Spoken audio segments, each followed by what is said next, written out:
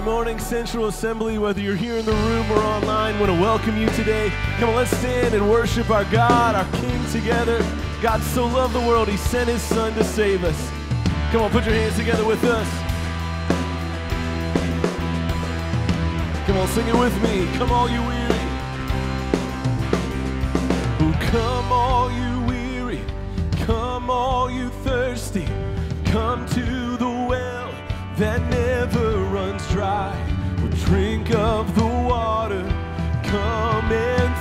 No more. Come on, let's sing it together. Come, all you sinners. Oh, come, all you sinners. Come find his mercy. Come to the table, he will satisfy. Taste of his goodness. Find what you're looking for. Come on, lift your voice. Together we declare God so loved. For God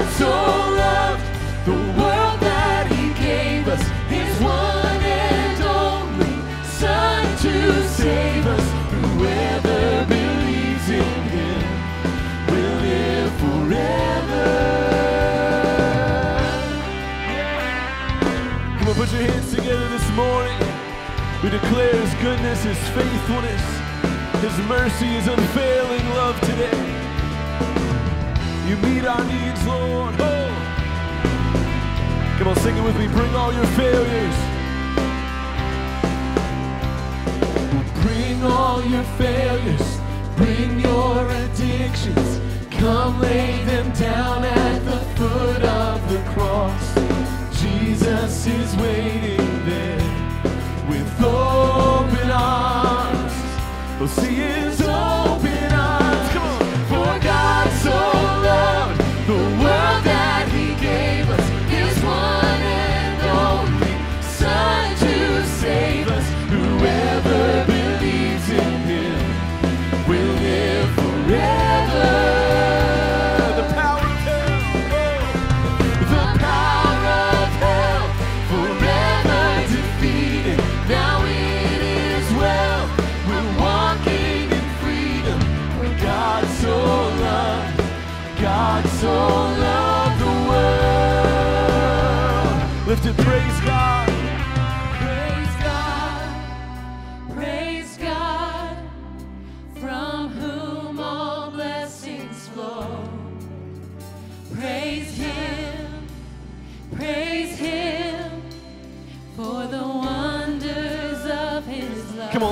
Us. Praise God. Praise God, praise God,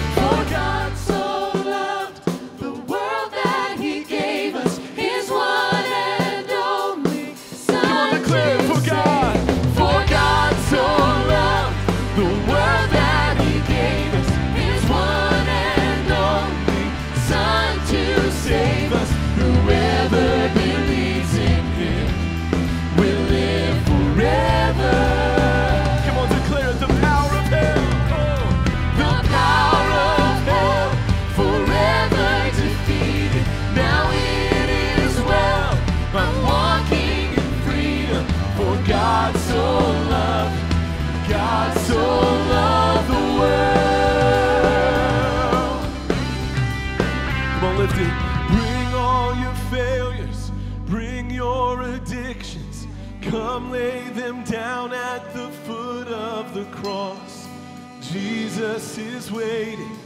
God so loved the world.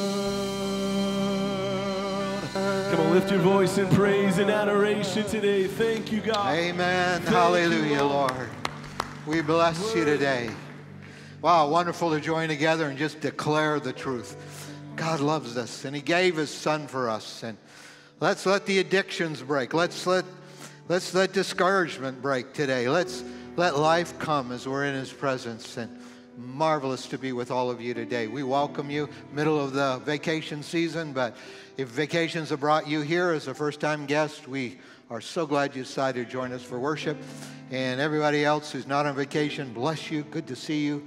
And we're, we're just going to have a great day today. We're going to move things around a little bit.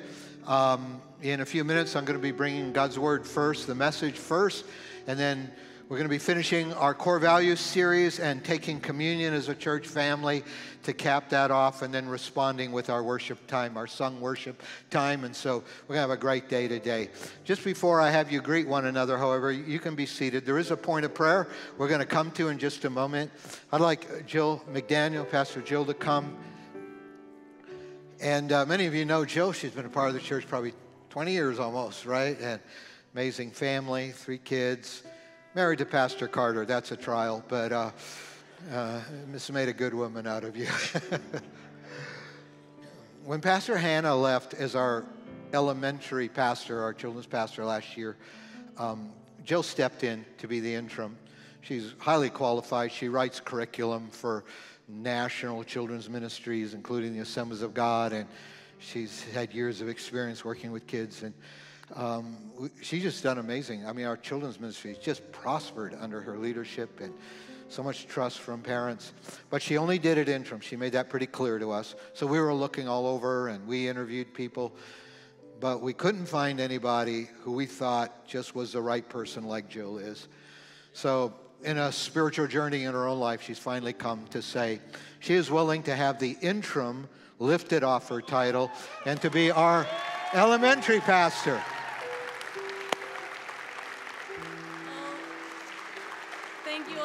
Um, thank you for the love and support and the grace that you have extended to me over the past year. I have grown so much, and I have seen God doing a work in my life. And God has given me such a love for our kids, um, our kids who are here, and also He's turned my eyes to the kids that He wants us to bring in as well. Um, I've seen God doing a work in our kids' lives, laying a foundation of truth that they can stand on solidly for the rest of their lives, and our older kids um, taking ownership of their relationship with God. And um, I am so honored and humble and excited to be able to get to be a part of seeing God continue that work, both in their lives and in, in, and in my life as well. So thank you so much for this amazing opportunity. Amen. Would you stand with me, please? Yeah. You're deserving of that, and we're grateful. Um, you're going to be on our pastoral team. You're credentialed Assemblies of God minister as well, and uh, we, we love working with you. Let's reach our hand out to Jill. Father, thank you Thank you for men and women of God that you put your hand on and you use. And thank you for the amazing ways you've been working through Jill these last few months. Thank you, Lord, for the growth. Thank you for all the young families you've been adding recently to the life of the church and for the great growth in our kids ministry. And we just pray, Lord, that you'll you could just let this just be the beginning. And I pray she'll feel the anointing of the Holy Spirit on her life pray you'll give her favor as she recruits and cares for volunteers and children's ministry. And I pray, God, that you will raise her up. She'll lead many children to you, to find you, and to children to be filled with your spirit, children to be equipped in the word of God, children to feel the love of God as we love them. And may you just use her in a great way.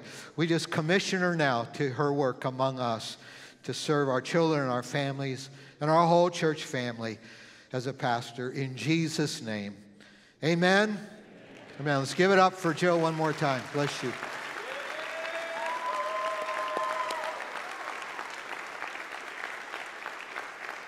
And just before you're seated, why don't you just turn and uh, introduce yourself? If you don't know somebody, welcome them to church today. God bless you.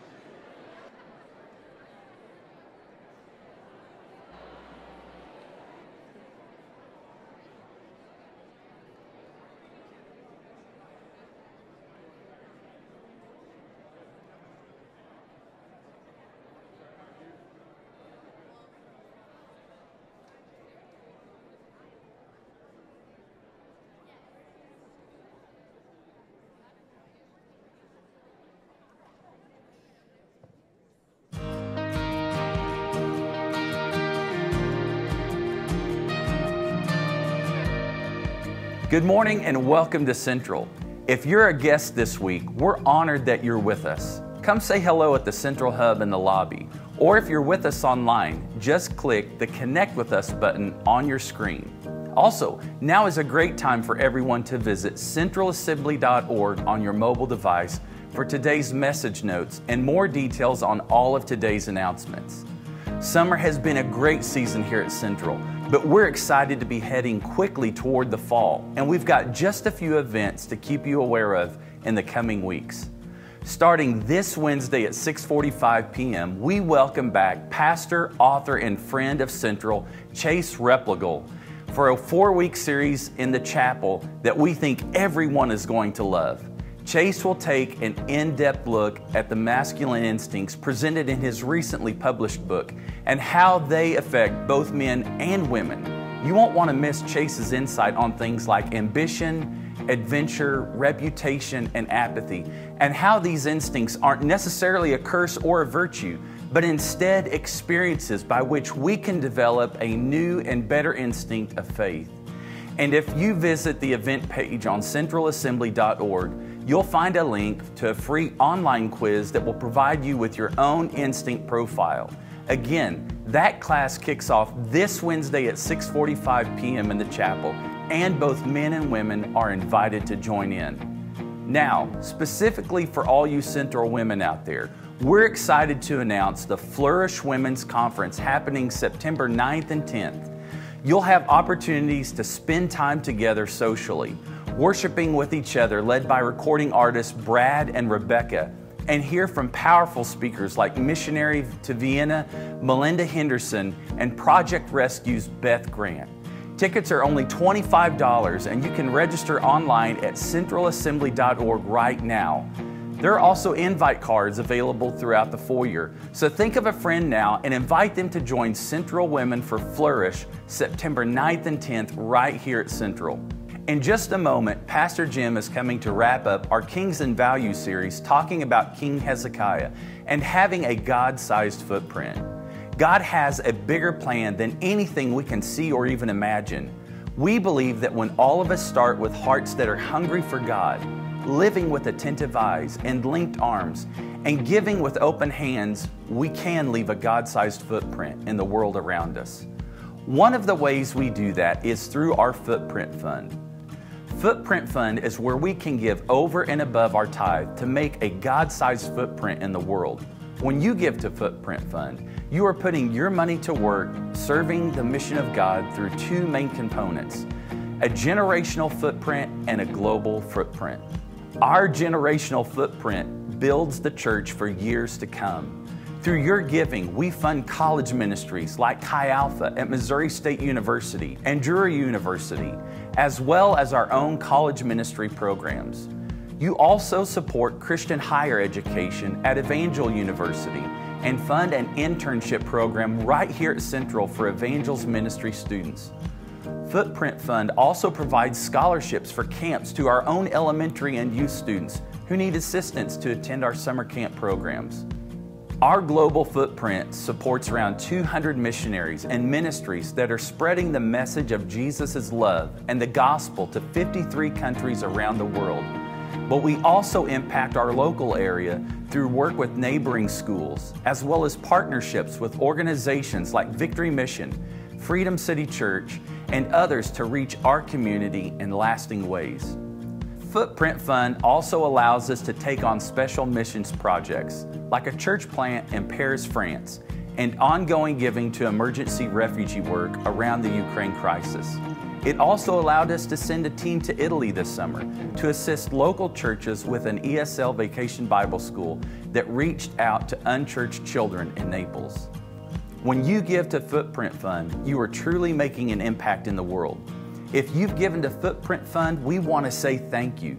Your giving continues to make all of this possible. If you've never given to Footprint Fund, I'd ask that you prayerfully consider it. You can find out more and give anytime at centralassembly.org/give. You can also give in person using the secure drop boxes near the doors when you exit. Thank you for your faithfulness in giving and for leaving a God sized footprint in our world. Now, let's turn our hearts to God's Word as Pastor Jim comes.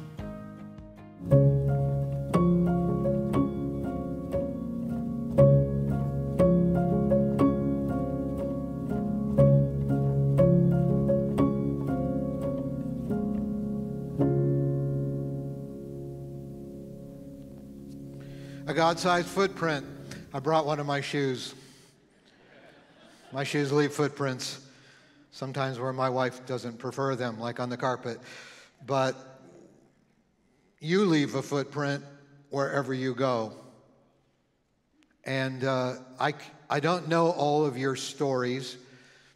I, don't, I know some of your stories, but I can probably say with some certainty that every one of you are following in somebody else's footprint right now.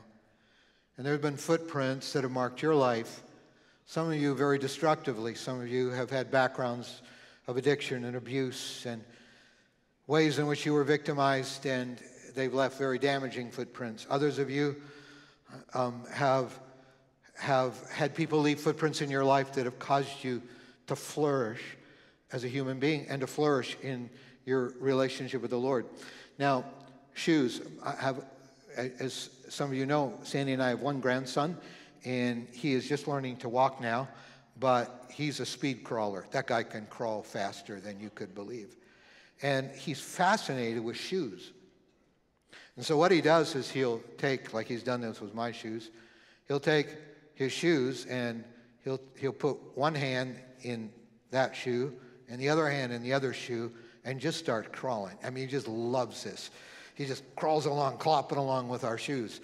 And, and I, I, I just have, have to think that there's a little guy who's going to grow up following other people's footprints as well. And I, I want him to follow godly footprints. That's why we're trying to be good grandparents and pray for that little guy like every day and, and care for our family. And we're all involved in leaving footprints and we're all involved in following in people's footprints.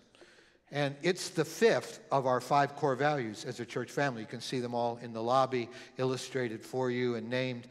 And, and the fifth one kind of, kind of ties up all of the other ones. And I've especially been excited to come to King Hezekiah. With every footprint, we've been identifying one of the kings who ruled in Jerusalem uh, centuries ago. And we've been looking at various kings out of Second Chronicles, and today King Hezekiah. And I love this verse. This verse is the whole nine yards in one verse when it comes to the influence of our lives. The Second Chronicles chapter 31. The story of Hezekiah starts in 29. It's like three, at least three full chapters. But here's the summary of his life. Chapter 31, verse 21. In everything that he, Hezekiah, undertook, in the service of God's temple and in obedience to the law and the commands, he sought his God and worked wholeheartedly.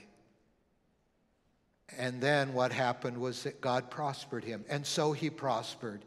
And that's why his footprint was more than just a man made footprint. His footprint became a God sized footprint because God prospered him. Now, I've actually talked about this verse with business leaders. I just think this is the key. I think if you want to wrap up one verse that is the quote unquote formula for success, it's right here. He did two things he sought God and he worked hard. Now, isn't that a duo right there? Know, someone said we ought to pray like we can't work and work like we can't pray. Well, that's exactly what Hezekiah did. He sought God, but his faith, his seeking of God, didn't make him passive. He worked hard. And he put both those things together. I want to tell you, if you go to your job and you seek God and you work hard, who knows? Who knows the doors might open up for you and the influence you might leave. And this was Hezekiah. This is how he summed up all of Hezekiah's life as a king. He sought God and he worked hard. And so God prospered. And it reminded me of what my friend of years ago, Jeff Heward, uh, said uh, in, a, in a lecture, in a talk he was giving. He, he said, God is looking for people who have these three traits. First of all, they know what they're living for. If you know what you're living for, like we'll see Hezekiah did, um, that sets you apart from the crowd right there. Very few people have really thought through what they're really living for. and the purpose of their life. Secondly, you not only know what you're living for, but you live it 100%. In the midst of a world that can feel sometimes like it's like a bunch of 50 percenters around us, we live 100%. And then thirdly, you change your surroundings rather than just yielding to them, just giving into them. You don't just take on the colors of your surroundings, you affect the colors of your surroundings. Or in that old analogy, you're not a thermometer just reflecting the ambient conditions around you. You're a thermostat. Wherever you go, you're setting the temperature, not just reflecting the temperature. You're a thermostat and not a thermometer. And, and so people who leave a footprint are, are people who, who change their surroundings rather than just yielding to them because they know what they're living for and they're living at 100%. And Hezekiah did this. He sought God and he worked hard. He, he, he knew what he was living for and he worked hard at 100% at it. And as a result, he left an incredible footprint, pieces of which we still have 2,700 years later in our world. And, and it's an impress- Hezekiah's footprint was impressive. Um, first of all, he brought about spiritual renewal. His father was perverted. That's about the best thing you can say about him. And this is one of those situations like we find often in Chronicles. Sometimes you will see good kings have bad sons, but in this case, we see a bad king that has a good son. So take heart, all you parents who feel like you weren't perfect. God can still, can still raise up your kids.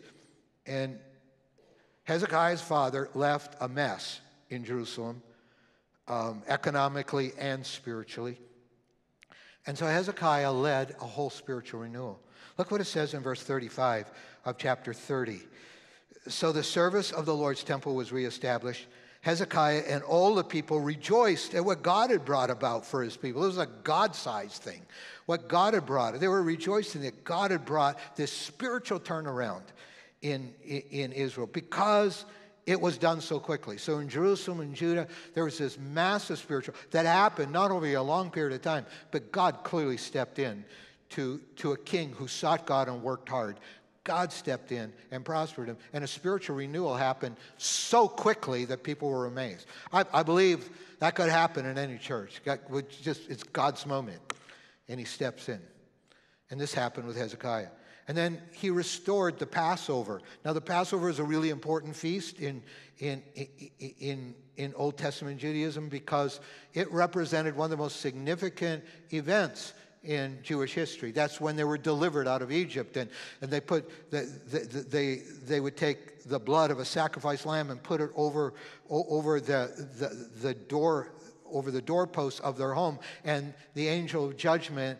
Uh, which came to actually allow Egypt to set Israel free from slavery, the angel of judgment would pass over them when they saw the blood. That's why we call it Passover. And it was a picture of Jesus who who, no coincidence, was crucified at Passover because his blood shed for us. When we take his blood to ourselves, judgment passes over us and only mercy comes our way. Thank God for that.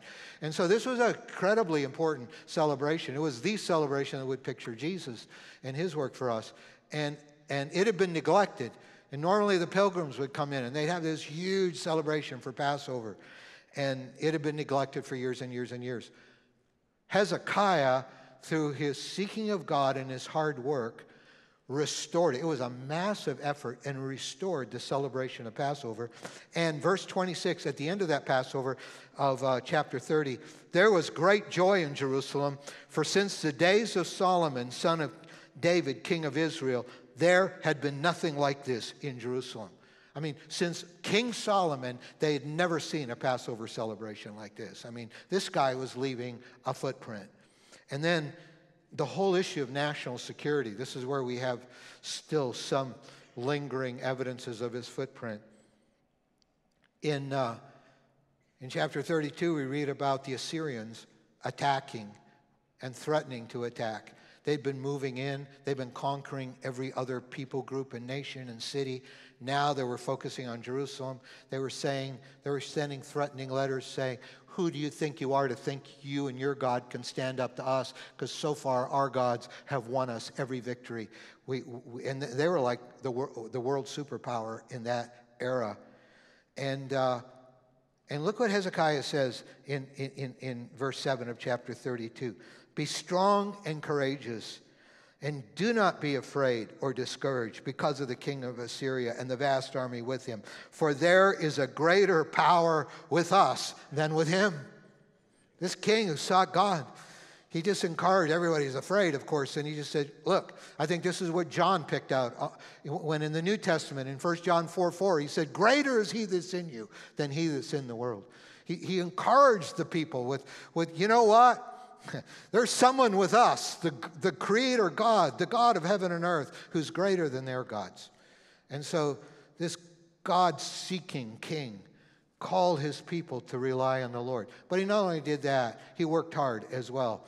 He took, because the spring, the main water source, the Gihon Springs, the main water source of Jerusalem were just out of kind of the southeast side of the city of Jerusalem. He encompassed that in and he cut a tunnel that's known today as Hezekiah's tunnel to supply water in so that the Assyrians wouldn't be able to cut off their water supply. I've actually walked through that tunnel. It's still there today. And then he broadened the the walls around Jerusalem.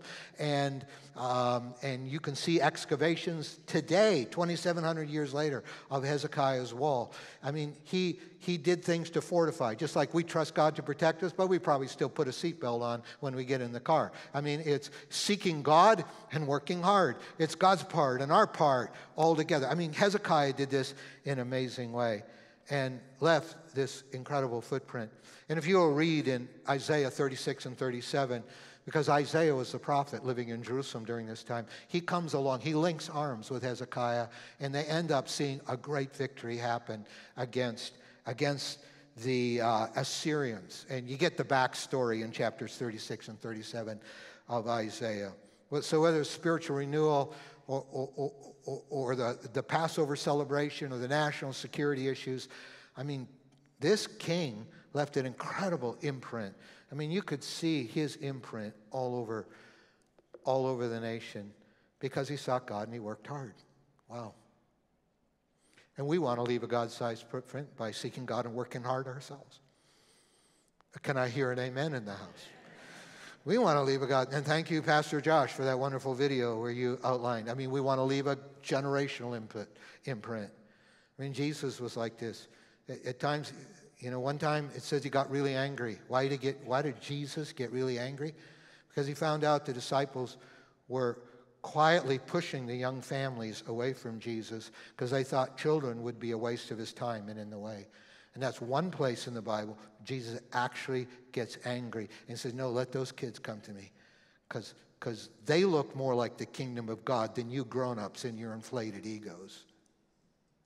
That's what the kingdom of God looks like. And so we're, we're committed. Thank you for all our nursery volunteers, preschool volunteers, elementary school volunteers, working with Pastor Jill, all our middle school pa- uh, uh, volunteers, all our high school pastors uh, and volunteers. I mean, our staff, our volunteers, we are committed to raising up a generation, a generation. We're going to, in our footprint celebration, in our footprint mission celebration in the middle of middle of October. We're, we're going to be, one week, we're going to have I'm going to have De- Devin and Ruthie Lolly with us. And Devin, Ruthie's my niece, but Devin grew up here at Central. Some of you were Sunday school teachers and nursery care volunteers. I mean, Devin is now leading a team of people to plant a church in an unreached part of the world. Um, this is what happens when we invest in kids. And then the next Sunday, we're going to have Jennifer and John Barrett who are taking over leadership of, uh, uh, of a marvelous ministry, Project Rescue, uh, reaching traffic women all over the world.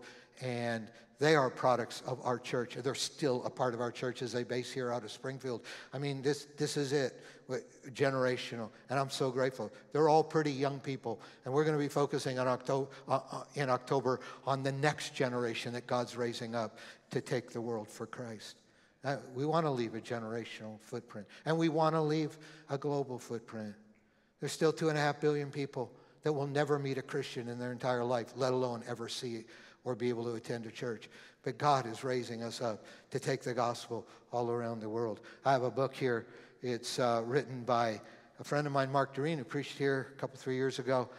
Uh, I've known Mark for many years and his wife Janie. I did their wedding when we were all a part of a university church together at University of Minnesota. And he has been called to the Buddhist world. He recently wrote a book called Change the Map. Not the physical map, change the spiritual map. And he is now leading a global movement to raise up intercessors and and, and, prayer for the Buddhist world. Just like happened 30 years ago with the Muslim world, where now we're starting to see breakthroughs as people continue to pray for the Muslim world. Now he's leading a movement. Uh, change the map. This is a footprint initiative. This is what God does, and part of one of the mission. He's one of the missionaries you support when you give to Footprint Fund. And then some of you know Pastor Dan Betzer, who is one of the most famous communicators in in the Assemblies of God, our church family, as well as one of the most famous Christian communicators in our world.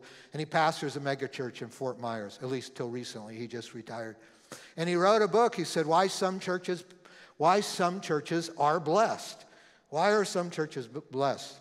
And uh, I know I know Pastor Betzer personally. He's been a wonderful encouragement to me. He especially was an encouragement to me when I was considering coming back to pastor here at Central because he was a part of Central years ago, and he's passionate about the local church. And he's got a really good introduction. He said, I had this guy, he drove hundreds of miles to come and visit me in Fort Myers and asked me what the secret of our church's success was. And he said, I really deflated him. He said, I had a one word answer missions. Or we would say in two words, global footprint. He said the guy just sat there deflated. He said, No, no, Pastor, I don't want to hear about that. I, I didn't drive hundreds of miles to hear about missions. Come on. What's the open sesame secret? Of your church? How come thousands of people attend here? How come you're not in debt? How, how did you build a multi billion dollar state of the art children's center debt free? How could you be on local television every day and national television every week and not be begging for money on the air? Like, what's the secret, Pastor? Please tell me. He said, I look, Dan said, I looked at him for a moment, smiled again, and responded, missions. Because after all, I had to tell him the truth. and I just believe this. I believe if we make our top priority God's heart to reach every, every unreached people group in the world, He's going to throw heaven behind it. He does. And, and that's why He said why some churches are blessed. It's a one word answer. It's not just for us, it's missions. It's giving to that. Some of you have given your whole lives to that. Others of us, I used to beg God to be a missionary and not have to preach to American Christians all the time. I'm sorry about that. I'm just being honest that God said, Well, I am concerned about my global footprint, but your call is not necessarily go, but it's to equip and send. And I just want to be a part of a place that has a global footprint. And that's what we're doing. And what will that take? Well, I noticed three things about Hezekiah's life as we close. Just three things that have to do with it. Remember, he sought God and he worked hard. These have to do with the work hard part. The work hard part. First of all, I notice if we're going to leave an, a, a footprint like that, if we're going to have huge shoes that will leave a footprint that'll last generations and reach the nations, first of all, I'm impressed that Hezekiah didn't make this all about himself. You can't think about your influence on the world around you and always be thinking about yourself. I, I want to tell you, a self fixated life is one of the most depressing kind of lives I could imagine. In fact, you want to be depressed, just live a self fixated life. That's not the only reason for depression, but it certainly will put you in depression, where everything's about you, everything revolves around you. Probably the most best selling Christian book, uh, other than the Bible, was Rick Warren's book, The Purpose Driven Life. And sentence number one of that book was, It's not about you. Pastor Warren just puts it right in our face. It's not about you. This is how Hezekiah lived. Notice in, when we're first as, uh, um, introduced to Hezekiah in, in chapter 29, verse 3, in the first month of the first year of his reign. So, not even within the first 100 days of his presidency, but in the first 30 days of his reign, he opened the doors of the temple of the Lord and he repaired them. It does not say in the first 30 days of his reign, Hezekiah first of all started to build his palace. No. It had nothing to do with him. Or verse 10, a few verses later. Now, I intend to make a covenant with the Lord, Hezekiah said, the God of Israel, so that his fierce anger will turn away from us. And, and, and I love it that Hezekiah tried to answer the right questions. If, if we're trying to answer the wrong questions, there's a lot of frustration, and we don't leave the imprint that we could leave. I mean, the wrong question for Hezekiah would be um, how, how can I use my position as a king to increase my net worth? How, how could I use my, my, my position over as commander in chief of an army to expand my territory? How, how, how could I how, how, could I, um, how could I use my power to get everything I've ever wanted? No. Th- those were the wrong questions. The right question was this Why has God taken his hand off our nation? Why has God lifted his blessing off of us? That's the question he answered. And he did it by saying, by saying, I'm going to make a covenant with the Lord because we've sinned against him and we need to come back to him and we need his hand upon us. He didn't even ask the question, How can I rebuild this nation? He asked the right question How come God's taken his blessing off of us? And this is not, this is not an it's all about me question. You've heard me, some of you have talked in the past about the difference between success and significance. I hope you're all successful at work. I hope you all succeed in your ministry. The problem with success, however, is it can remain all about you. You succeed for your own benefit. But significant, when God takes us from success on to significance. And we're no longer preoccupied by just being successful, but we're preoccupied about the footprint that we are leaving. Then we're thinking significance. And significance is not about us, it's about the people around us and the influence and the imprint we're leaving on their lives. So Hezekiah didn't make it about himself. And also, in that process, Hezekiah let it cost him something. I mean, personally, he let it cost him something to leave a footprint. And as they're restoring the temple, and then those temple's been restored in chapter 31, it says now they've got to finance the ongoing work of God and the worship of God. And so in verse 3, it says the king contributed. This always moves me as a leader. The king contributed from his own possessions. He let it cost him something. For the morning and evening burnt offerings, for the burnt offerings on the Sabbaths and the new moons and the appointed festivals, as written in the law. And it's not until he's first contributed from his own possessions as a leader that then he ordered the people living in Jerusalem, next verse, to give the portion due the priests and the Levites so they could devote themselves to the law of the Lord. And um, you may not be a leader, but here's how you think if you're going to be a person who wears a shoe that leaves a footprint in other people's lives. You decide up front, before it's other people making the sacrifice, I'm going to make the sacrifice. And in fact, the result of that was when Hezekiah, verse 8, when Hezekiah and his officials came and saw the heaps, they praised the Lord and blessed his people Israel. I always smile when I read that verse because when I think heaps, I think of garbage. Heaps of garbage. No, these weren't heaps of garbage, these were heaps of offerings that the people had given. And at the bottom of those heaps were the first offerings that Hezekiah gave himself. And it's all of this that, that we start as, as Oswald Sanders said in his classic book, Spiritual Leadership.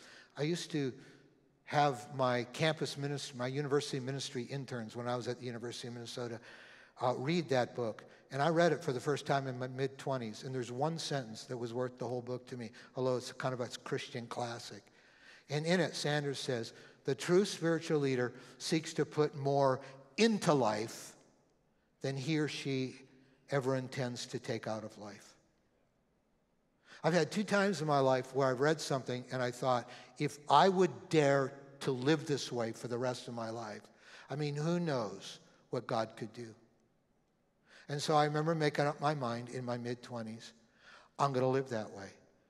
I'm not going to do things just because I'll get as much or more back. I mean, when I buy something for $10, I want it to be worth $10. And if it's worth $12, I'll be very happy because I got a deal. But I don't want to put across $10 if it's only worth $8.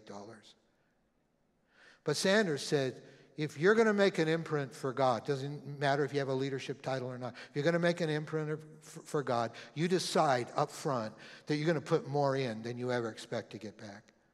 And some of you are living that way right now. Some of you, you're volunteering here, and we'll never be able to write you enough thank you notes in return. I remember one time I was complaining because I didn't think I got enough thank you notes. I, am ashamed of my wicked heart there, but you know, because I didn't. I, sometimes this would slip out of kilter for me. I didn't think I was getting enough thank you notes, and the Lord would say to me, "Hmm, I didn't think you were doing this for the appreciation. I thought you were doing this for me." And you know what? There comes a point where we don't bar- bargain and negotiate with God. If you're going to have an influence, you decide first up, up front. I don't know if people will respond. I don't know if I'll get a thank you note for this. But I'm going to decide up front to put more into life than I hope to take out of it. And then leave myself in the care of the Lord. Who like, who like Hezekiah, it says, and so, and so God prospered him. And so Hezekiah didn't make it about himself. I think that's essential if we're going to have a footprint. And if you're going to have an influence, you're going to have to decide up front it's going to cost you something. And then you're going to have to marry faith with action. You got to actually not just have faith, but do something. Not just pray, but do something. And this, and this is where it came down to. Hezekiah married faith with action. So here's our starting verse in everything he undertook, in the service of God's temple, and in obedience to the law and the commands. He sought his God, and he, say those words out loud, worked wholeheartedly. He sought God, and he worked hard. And he did something. He just didn't worship God, he did something in Jesus' name. And that's really what our core values have been. So as we prepare, I wanted to end our core values series by, as a church family, taking communion together. Because God didn't make, I mean, Jesus said, I didn't come for me, I came to give my life away. Cost him a lot at the cross. But in his name, we want to be that kind of church. And here's where we've been. We've been walking through our five core values. It started with King Josiah and having that hungry heart for him how Josiah at 16 years old began to seek the Lord. Like I believe a prophetic Josiah class generation is being raised up. And then, and then we looked at those attentive eyes. We saw King Asa, how God says to him, The eyes of the Lord roam to and fro throughout the earth, looking for someone whose hearts he can strongly encourage and strengthen.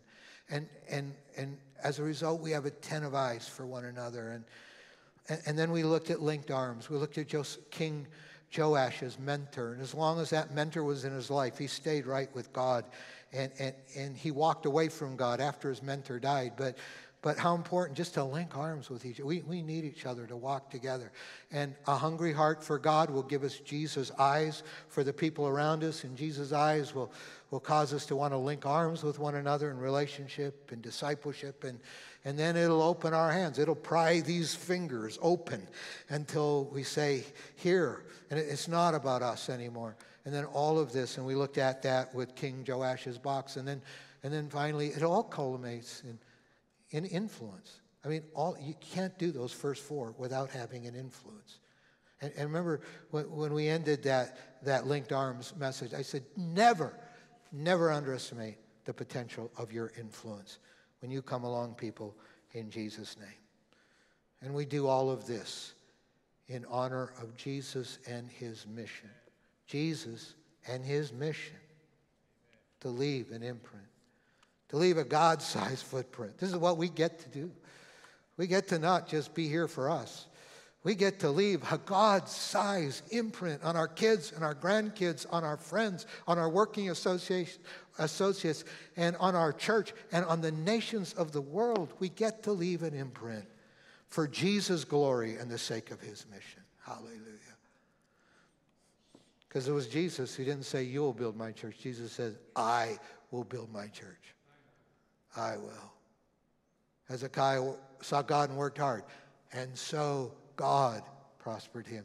And I just believe God is going to help us to see his church built and his church grow. I'd like you to take your communion cups if you would. And would you just take the side that has the bread and open the lid and take that bread and hold it in your hands? This bread speaks to me about footprint in every way. It means that the God who created the natural universe then became a citizen of the natural universe. He confined himself to space and time, and even a real body like you and I have, so he could meet us where we are. And he could be broken so that we would be healed. This is what he did at the cross. And uh, this is what we do when we leave a footprint. We enter people's worlds. We, we go where the gospel hasn't gone. We don't make life all about us. And uh, this is what Jesus did when he took on flesh, when he took on a body. So, Lord Jesus, as your living church, we commit ourselves, Lord, afresh with your strength to be like you, who said, I will build my church. Thank you for coming. Thank you for walking with us. Thank you for life. We praise you. We love you. We honor you today. And we take the bread in honor of you and we glorify you. In honor of you, Jesus, in honor of your mission, in honor of what you've done for us. Thank you. In Jesus' name. And we pray as we take the bread, you'll put big shoes on us today. Amen. Let's take the bread together.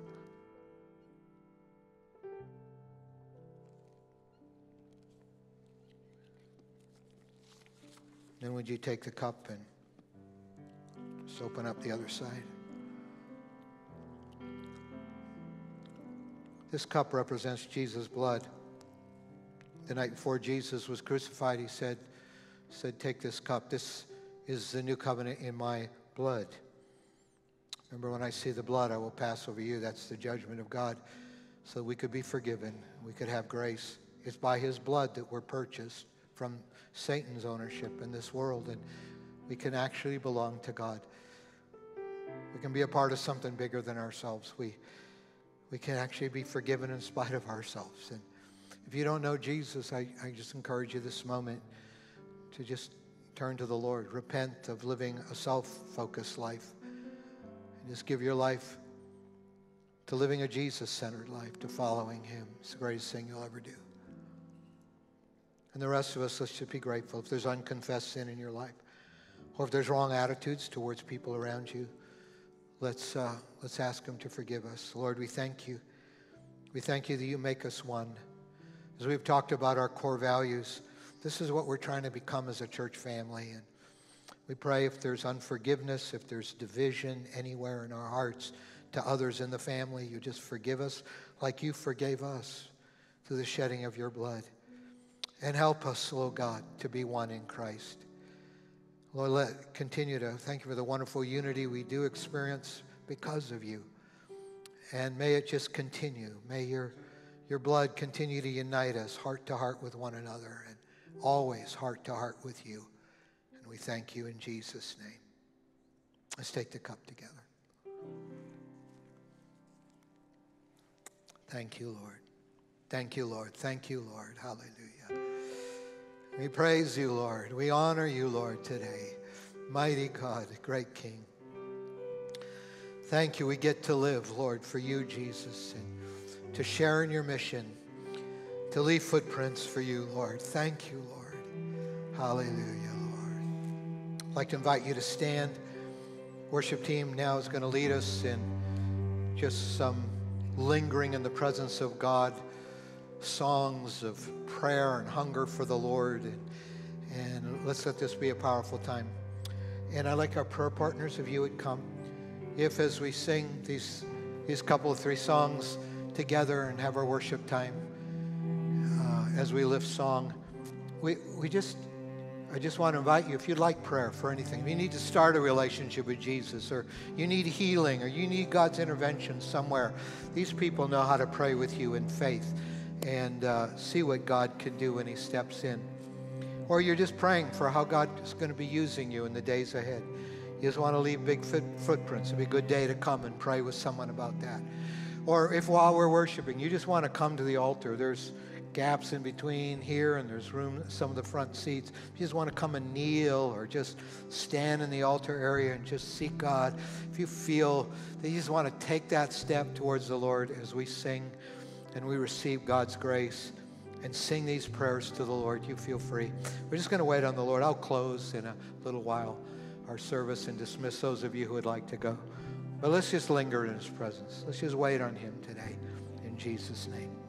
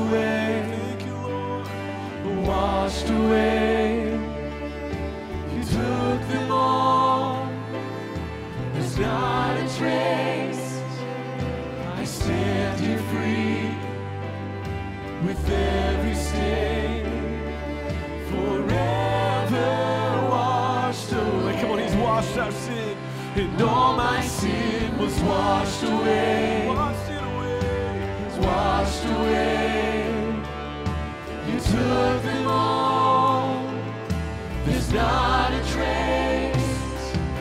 I stand here free from every stain forever washed away. Come on, let's sing this together. Oh, precious. And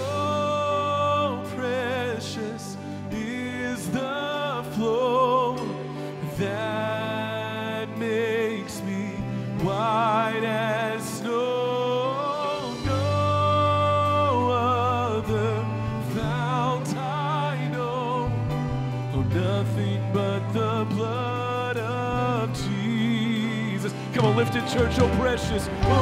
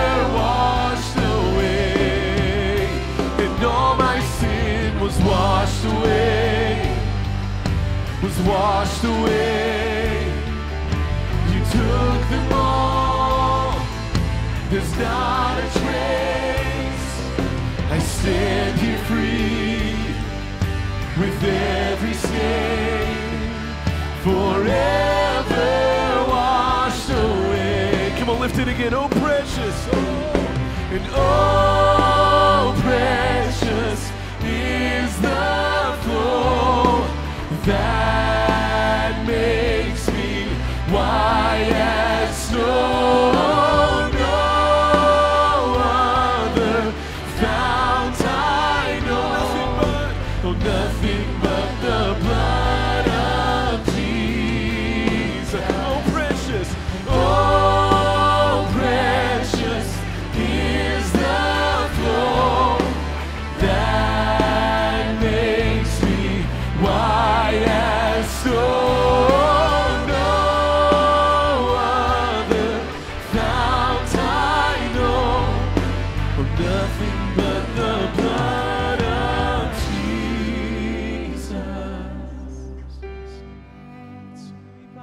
For his blood.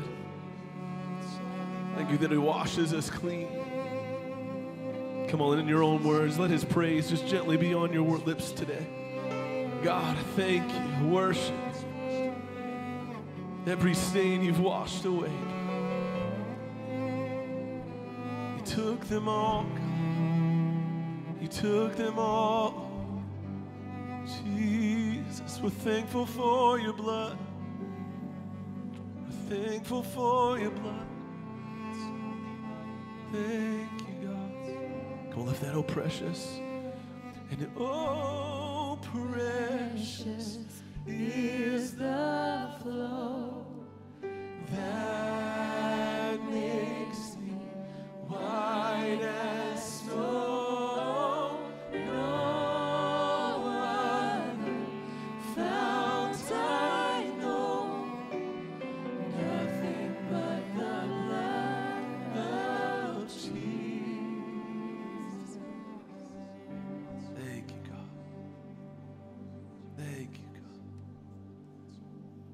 Precious are you, Jesus. Precious are you, Lord. Thank you, Lord. Thank you, Lord. God, dwell in our midst. We just want more of you. Could you tell them that this morning? God, I just want more of you. More of your presence, more of who you are. More of your grace, more of your mercy, God. You freely give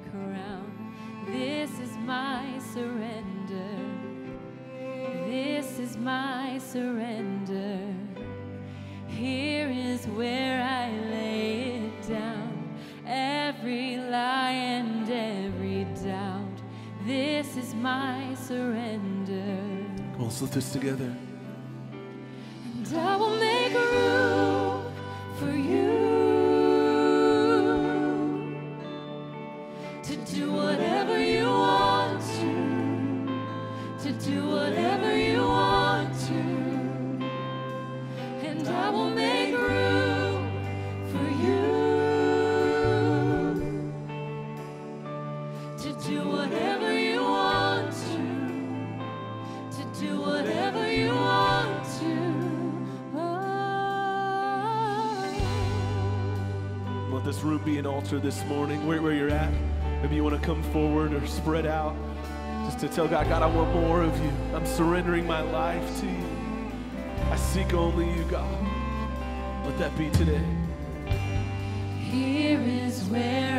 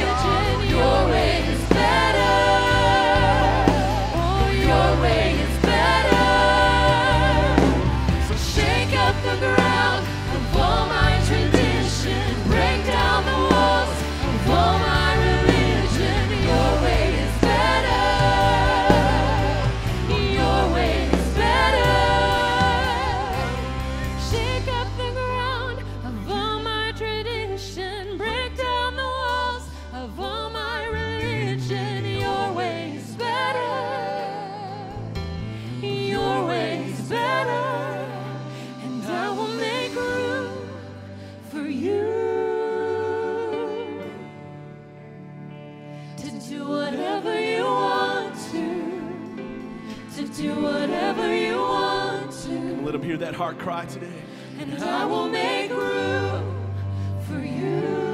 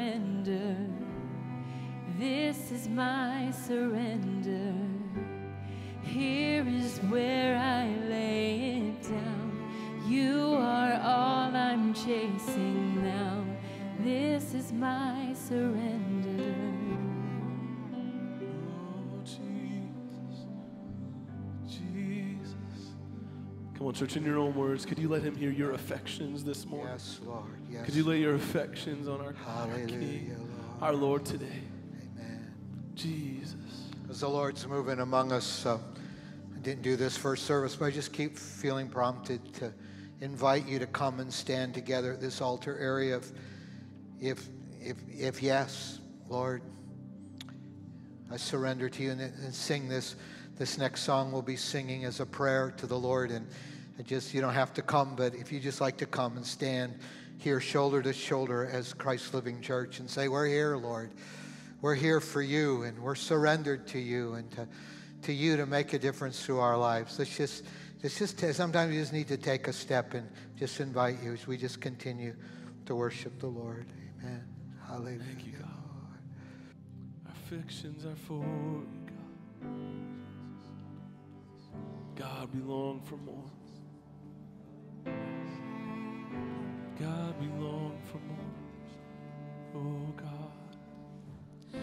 This world could never satisfy the longing in my soul when all is lost and hope is dry.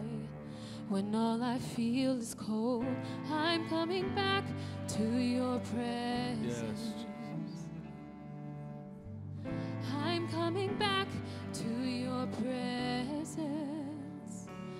there's a hunger and a thirst. I am dead.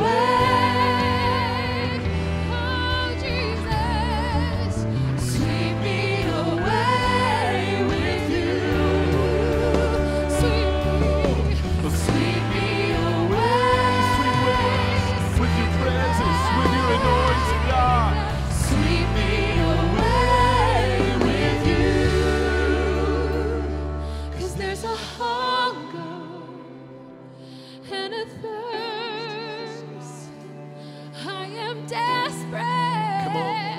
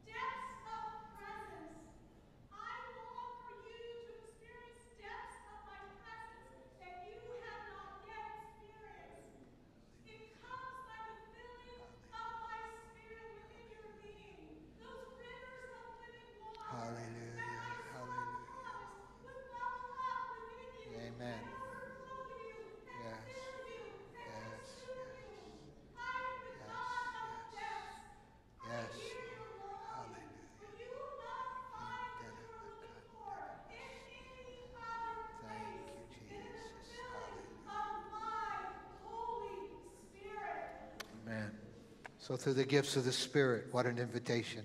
Would you just receive right now?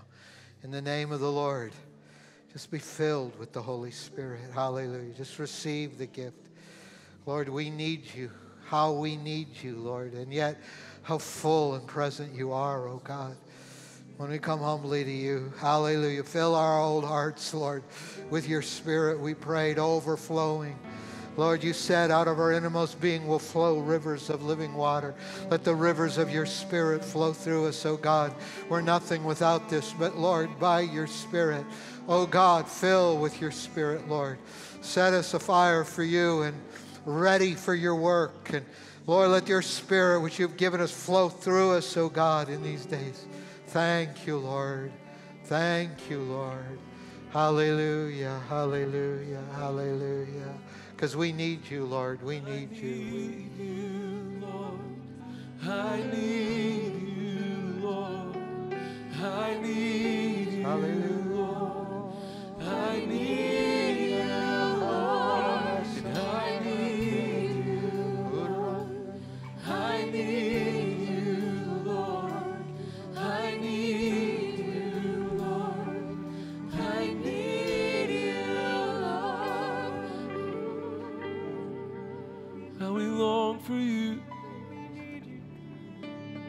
How we long. Desperate for you. Thirsty for you. Hungry for you, Lord.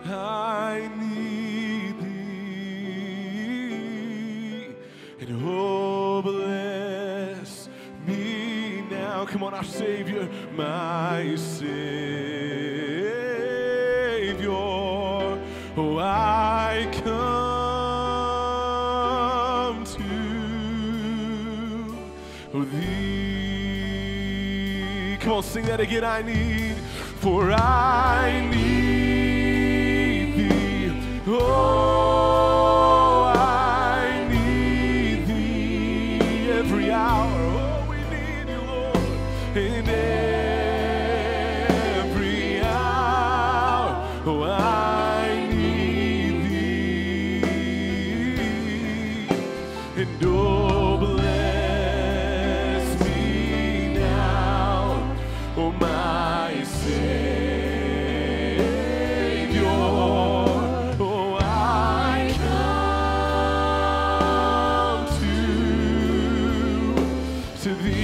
church,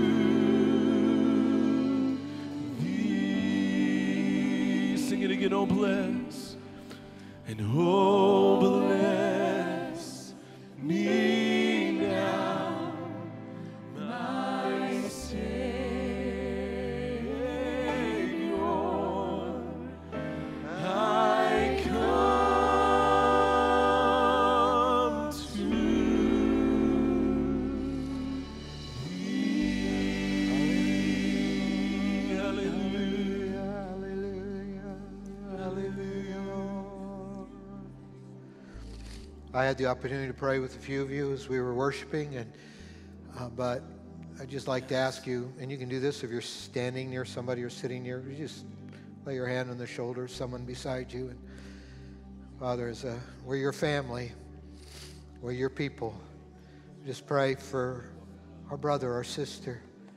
We need them to be strong for you, Lord. We need them leaving a footprint of, of supernatural dimension, Lord. We, we, we, we need their encouragement and their accountability, and we need, Lord, them. And we just pray you'll make them large in your spirit. And just fill them, Lord, today. Lord Jesus, just pour through them, Lord. Just let the anointing of the Holy Spirit be upon their lives. Let their hearts burn with the fire of God. Open doors for them. Make way for them, we pray. And we pray that the power of darkness to slow them down will be broken in Jesus' name. And this spiritual warfare will be put away, and that you, Lord, you will break through even today in fresh ways. Let faith rise in their heart, hope and joy in the Holy Spirit, and righteousness and holiness. And my God, they'll be hedged in by your Spirit. You'll be a shield about them, and you'll be the glory and the lifter of their heads. We just pray for our brothers and sisters. Thank you for our church family. Thank you for what you're doing. And thank you. We walk with each other through this, Lord. And we praise you in the name of the Lord. Hallelujah. Hallelujah. Hallelujah. Could we sing that one more time? I need you. I need you. Oh, I need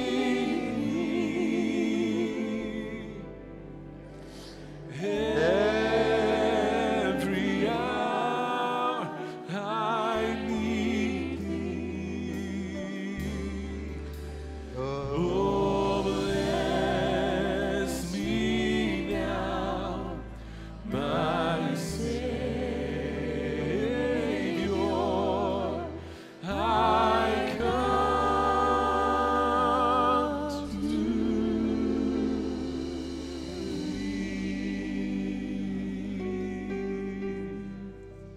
I was praying for two or three of you, I felt very distinctly the Lord is bringing you into a broad place. In the Psalms, it says, We've walked through, men have ridden over our heads, we've gone through fire and water, but you have brought us into a broad place. And I, I just feel that's for numbers of us. Bringing you into a broad, a broad place is just a place where you're just breathing easy again. And uh, the oppression isn't there. And the broad place is the place of opportunity and, and where, where you're just not striving and struggling, but you're just kind of in the flow. And, um, and He's just with you, and He's the wind in your back, and you're just watching God work. And so, broad places, I just want you to be open to broad places. We need Him, and He is taking us to broad places. Hallelujah for that. Hallelujah. Uh, Pastor Josh, you may lead us a little more. Um, I'd like to dismiss those of you who would like to go. Worship team is going to continue to lead. Please feel welcome just to linger here if you'd like. But it's been so great to be with you to worship today. Thank you for lingering as we spend time in God's presence. It's one of the most important things we do. And uh, God bless you. May you go in Jesus' name. And uh, you're welcome to linger. We'll continue to worship. Thank you. Cause there's a hunger and a thirst. I am desperate. Immerse me, and I'm not waiting, not anymore. Oh, I need you, Lord. I need you. Come on, there's a hunger. There's a hunger and a thirst, and I am desperate immerse me. Oh, I'm not waiting, not anymore.